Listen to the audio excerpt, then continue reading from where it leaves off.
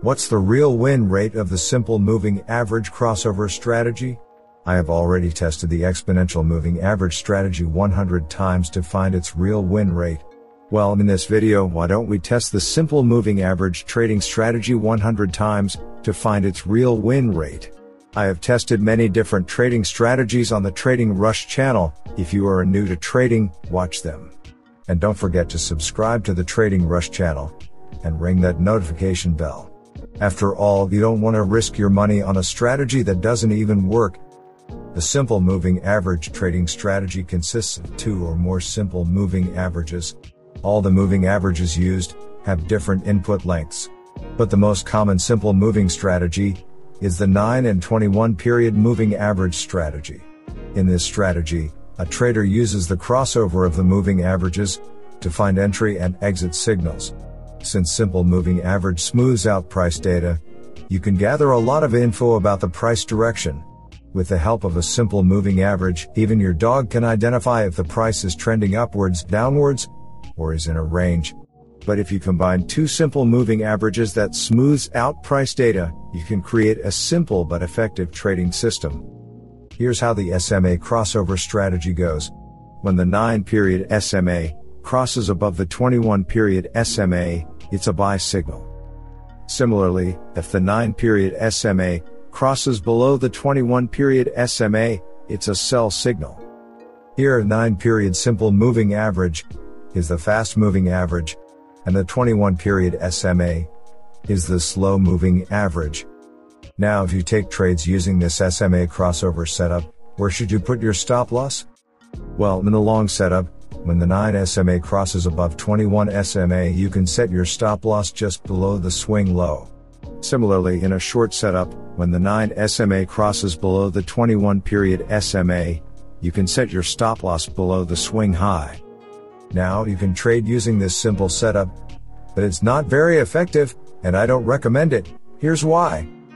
You see, if you can find where price wants to go in the long run, your job is half done. If you can identify where the price is trending in the long term, you're one step closer to making good money in trading. That's because when price is in a trend, it tends to move in one direction for a long time. If you take trade in the direction of the long-term trend, you can achieve higher and better reward to risk ratios. In simple words, you will make more money. And you can easily find that direction of the long-term trend using another moving average. Usually, I use 200 exponential moving average to find the long-term trend. But this time, since the topic is about simple moving averages, I have used 200 period simple moving average to find the long-term trend direction. If price is above the 200 SMA, it's an uptrend, and we should only look to buy. If price is below it, it's a downtrend, and we should only look to sell. So here's how our complete modified simple moving average crossover strategy goes. Only take buy entry signals when 9 period SMA crosses above 21 period SMA and prices above the 200 period simple moving average. Similarly, only take sell signals when 9 period SMA crosses below the 21 period SMA and prices still below the 200 period simple moving average. I have tested this simple moving average crossover setup 100 times with just few simple tweaks. These tweaks are there to make the strategy more effective in the long run. When the crossover strategy gives a buy entry signal, the candle that is giving the entry signal should be above the moving averages. If it is slightly touching it, it's still a valid setup.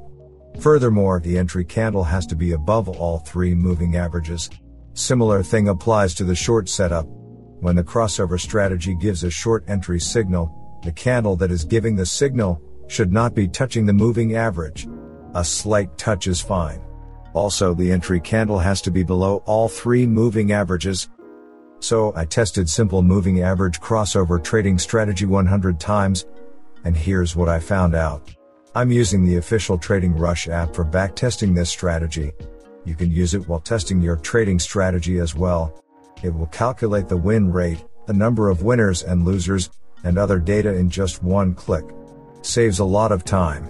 You can download the official Trading Rush app from the Google Play Store. We're using the link in the description.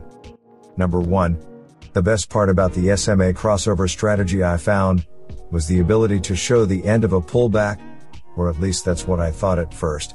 Let me explain. You see, by adding the 200 period simple moving average, we have turned this strategy into a trend following strategy. The 200 SMA is showing the trend direction, and the 9 and 21 SMA crossover is giving the entry signals. Most of the time, the SMA crossover setup gave good entry signals at the end of the pullback. But that was also a kind of disadvantage. Number 2. Unlike exponential moving average where latest candles are given more priorities while calculating the average, in a simple moving average, all the candles are given equal priorities while calculating the simple average. Because of this, the SMA crossover strategy was giving late entry signals than the exponential moving average crossover strategy. And on top of that, all moving averages are lagging indicators. They possess no ability to predict the future movements. When there was a good long-term trend going on, the signals I got from the SMA crossover strategy were profitable, but sometimes, the signals were so late, that the trend was already over. Number 3. In this back test, I lost most number of trades, when the long-term trend was not strong enough, or was trending sideways. This could be easily avoided by using some other indicators, or by simply looking at the 200 period moving average. If the moving average is looking flat, there is no trend going on. I have also made videos on other indicators that identify if the market is trending or not. Check them out if you want. So after testing the simple moving average crossover strategy 100 times, I found that the win rate of the strategy is approximately 48%. What this means is the SMA crossover strategy and the exponential moving average crossover strategy have a very similar win rate. Both of them are profitable strategies. Since most people will use a reward risk ratios of higher than 1, I used a 1.5 to 1 reward risk ratio, and because of that, I was able to make money, even with a win rate that is less than 50.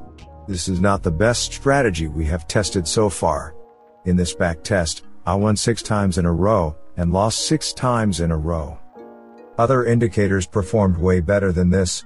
If you want to know win rates of other trading strategies, check out other videos on the Trading Rush channel, or on the Trading Rush website. And if you want to use the Trading Rush app while testing your strategy, feel free to do so. You can download it from the Play Store or using the link in the description.